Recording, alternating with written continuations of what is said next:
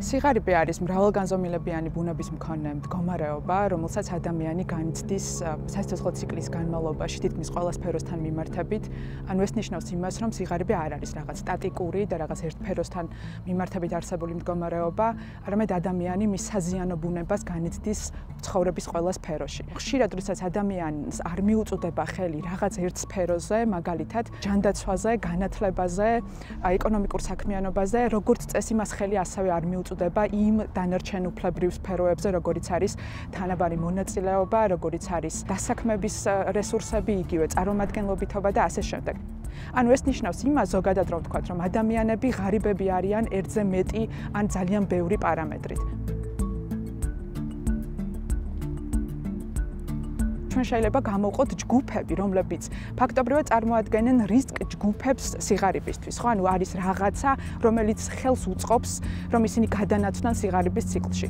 ესეთი ჯგუფები შეიძლება იყვნენ იძულებით გადაადგილებული ადამიანები, შეზღუდული შესაძლებლობის მქონე ადამიანები და ასეთი ჯგუფი ასევე შეიძლება იყოს ქვიარ ადამიანები, რომლებიც პრინციპში სხვადასხვა სისტემურ პრობლემებს განიცდიან, რაც შეიძლება მათ წინ უძღოდეს, რომ ისინი აღმოჩნდნენ დაუსაქმებლობის, უსახკარობის და საბოლოო ჯამში სიღარიბის და ბოლოს სიხატაკის პირობებში.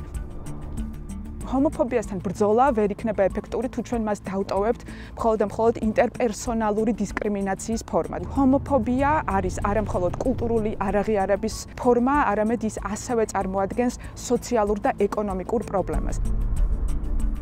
მაგრამ ამავე დროს ჩვენ გვჭირდება მეორე საკითხის გააზრება. ჰომოფობია ვერ იქნება ერთადერთი ამხსნელი, რომელიც ახსნის და რაღაც გარკვეულ სქემას შემოგთავაზებს განმარტებისა, რატომ რჩება ქვიარ ჯგუფი კლავ სიხარების და გმშევრობის პრობლემის წინაშე. ჩვენ მაშინ ასუხისგებლობას მოახსნით სახელმწიფოს იმ ასე თქვა დამახინჯებული სისტემების არსებულ მდგომარეობაში ყოფნისგან, რომელზეც სახელმწიფო პრინციპში პასუხისგებელია.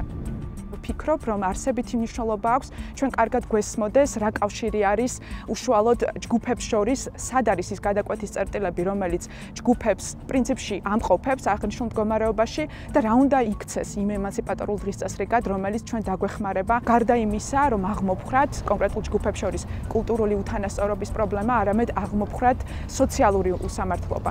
ჩვენ უნდა მოვითხოვოთ იმგვარი თანასწორობა, რომელიც დაინახავს სიღარიბისა და გარიყულობის მრავალმხრივ და სისტემურ მიზეზებს. გაითვალისწინებს როგორც ყველა ინდივიდის, ისე ქვიარ ჯგუფის ინდივიდუალურ საჭიროებებს და გადაჭრის გზებს სწორედ ამ მოთხოვნებს დააყრდნობს. ჩვენ ამ სისტემაში მოვითხოვოთ მხოლოდ და მხოლოდ კულტურული აღიარება და ჯგუფის თანასწორობა, ასევე ნიშნავს იმას, რომ ჩვენ ვითხოვდეთ თანასწორობას უთანასწორობაში. ჩვენ გვჭირდება თანასწორობის ისეთი იდეა, რომელიც ჰომოფობიის დაძლევას, სოციალური სამართლიანობისთვის ბრძოლის ორგანულ ნაწილად დაინახავს. მხოლოდ კლასობრივ ჩაგვრასთან დაპირისპირება ვერ აღმოფხრის ჰომოფობიას, რადგანაც თანასწორობა თუ სოციალური სამართლიანობა მხოლოდ ილუზიაა იქ, სადაც საზოგადოება არ არის თავისუფალი ჰომოფობიისა და ქალთა ჩაგვრის კულტურისგან.